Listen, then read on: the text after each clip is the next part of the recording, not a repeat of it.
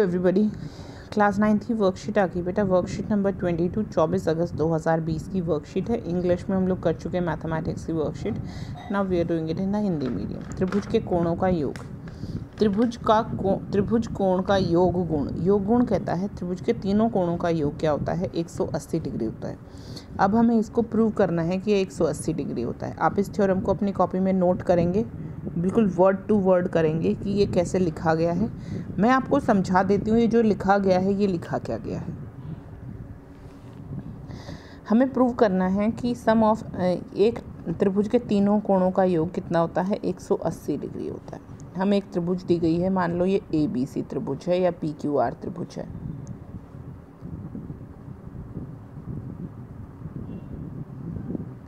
हम क्या करेंगे? जो भी त्रिभुज आपको दी गई है, उसके पैरेलल एक लाइन यहाँ खींचेंगे। शायद ये पी क्यू आर दी गई है, इसके पैरेलल हम एक लाइन यहाँ खींच देंगे।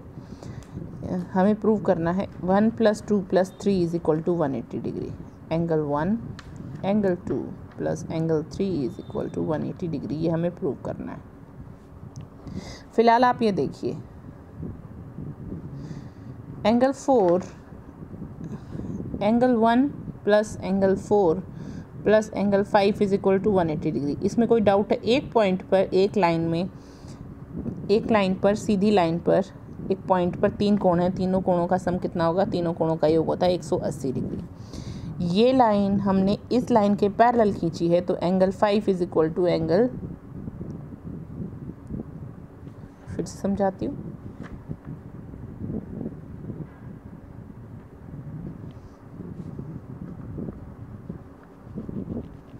फिर से देखिए बच्चे।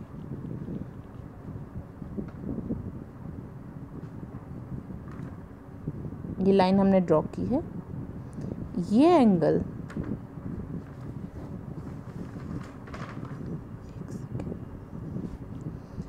ये ट्रांसवर्स अगर है तो ये एंगल, यहाँ पर एंगल वन था, यहाँ एंगल टू था और यहाँ एंगल थ्री था। एंगल फाइव, फोर ले लीजिए।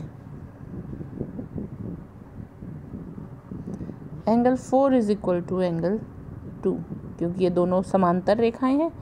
समानांतर रेखाओं में ये वाला एंगल इस एंगल के बराबर होता है, ये वाला कोण इसके कोण के बराबर होता है। और angle three is equal to angle five, ये भी देखिए, ये पाँच एंगल है, क्योंकि अब इस बार हमने ये वाला वो लिया है, मान लो ये काटती हुई रेखा है, ये दोनों पैरेलल लाइनें हैं, और ये काटती हुई रेखा है तो एंगल पाँच इज़ इक्वल टू एंगल तीन।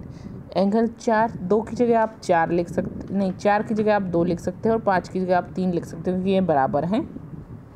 तो आपका प्रूव हो गया, angle two is equal plus angle two, angle one, angle two, angle angle three, तीनों को जोड़ो तो तीनों का योग 180 डिग्री आता है। चलिए देखते हैं। ये देखिए, ऐसे ही इन्होंने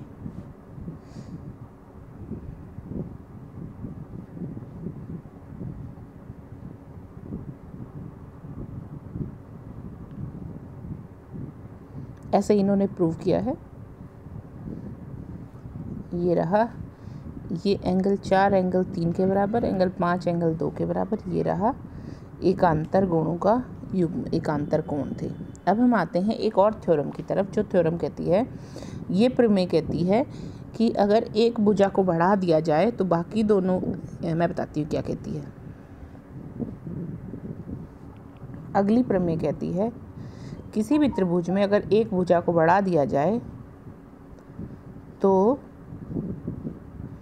जो यहाँ पर कोण बनता है, वो इन दोनों कोणों के बराबर होता है। यानी कि angle three is equal to angle one plus angle two एक जमा दो को जोड़ो तो बराबर है तीन आता है।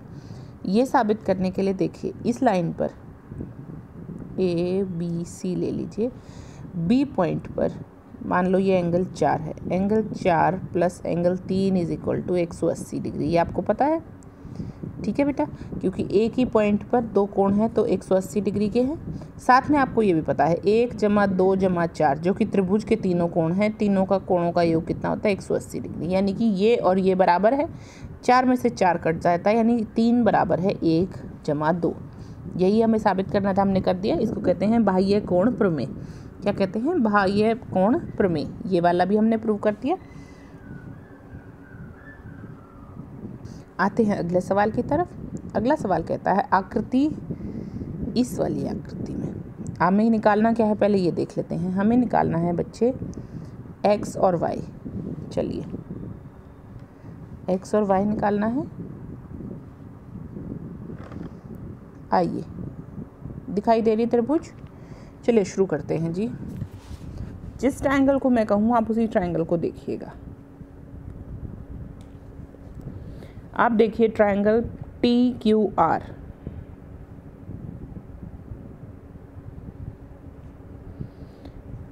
angle T ninety degree है। दिख रहा है बेटा?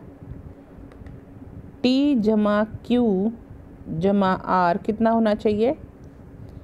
180 क्योंकि एक त्रिभुज है। टी नब्बे है, दिया हुआ है क्यू चालीस है, दिया हुआ है। तो आर कितना आ गया? यानी कि ये जो आर यानी कि एक्स कितना आ गया?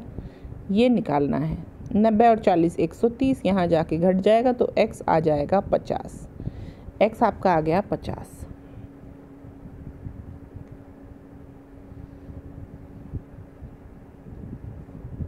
ये कोण आपका पचास आ गया। अब आप देखिए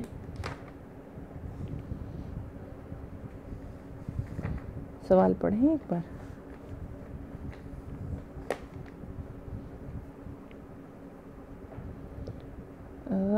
Q T T Q R S P R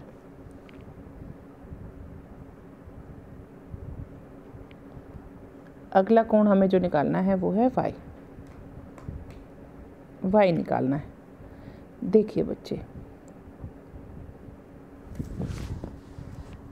Y को दो तरीके से हम निकाल सकते हैं। यहाँ पर हम एक्सटीरियर एंगल थ्योरम लगाएँगे क्योंकि हमने अभी अभी सीखा भाई ये कोण परिमेय तो देखिए, इस वाली ट्रायंगल में ट्रायंगल पी एस आर आपको दिखाई दे रही है।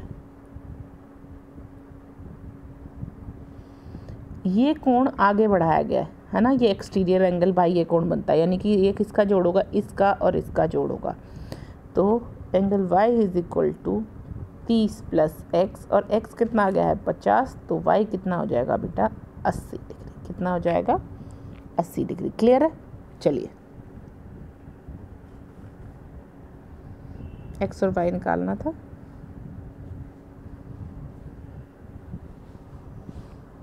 अगले सवाल की तरफ़ चलते हैं। अब हमें निकालने हैं खुद दो सवाल।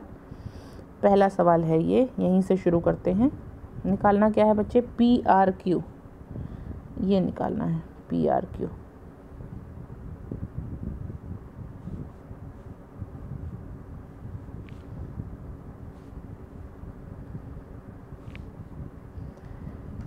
ये कोण हो गया सत्तर।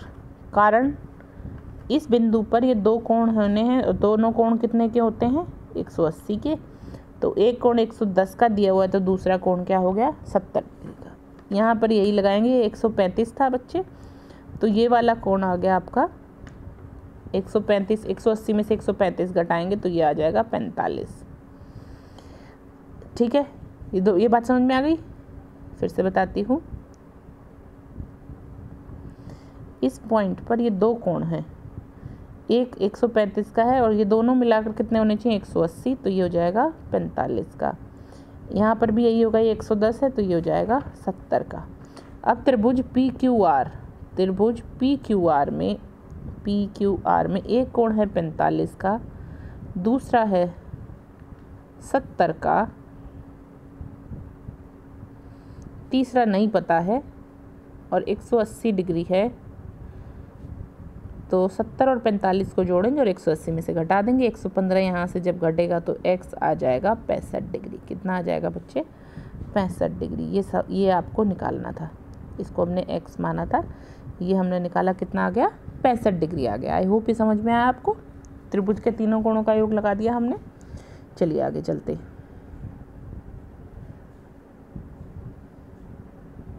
इस सवाल में हमें निकालना है।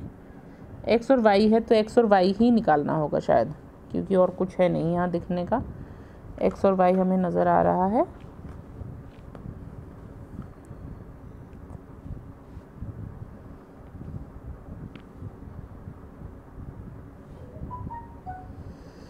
चलिए बच्चों एक्स और वाई निकालना है। हम लेते हैं ट्रायंगल क्यू एस आर आपको नज़र आ रही होगी क्यू एस आर ये ट्रायंगल में ये वाला कोण x 28 जमा एक्स बराबर है पैंसठ डिग्री। 28 जमा एक्स बराबर है पैंसठ डिग्री। कारण क्या है? बाह्य कोण परिमेय, है ना? इस त्रिभुज का ये कोण साइड बढ़ाया गया है तो ये कोण इसका और इसका जोड़ होगा तो x यहाँ पर आ जाएगा आपका सैंतीस डिग्री। क्या आ जाएगा? सैंतीस डिग्री।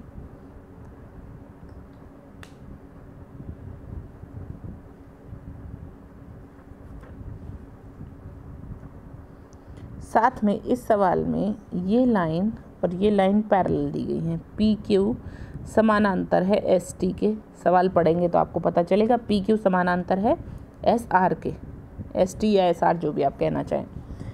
इसके समानांतर है तो ये कोण इस कोण के बराबर होगा। एक अंतर कोण युग बोलते हैं। ये कोण इस कोण के बराबर तो ये हो जाएगा सैंतीस। ये सैंतीस हो जाएगा और ये कोण इसके बराबर हो जाएगा, ये हो जाएगा